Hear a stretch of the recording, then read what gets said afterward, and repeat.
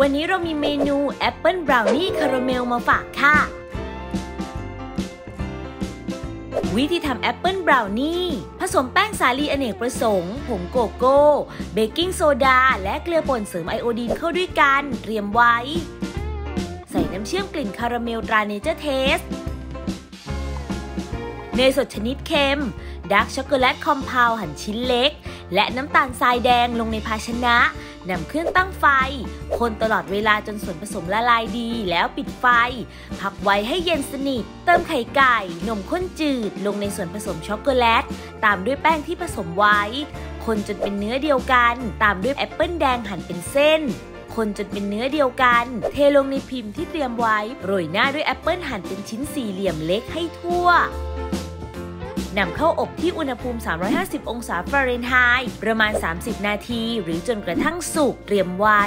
วิธีทำซอสคาราเมล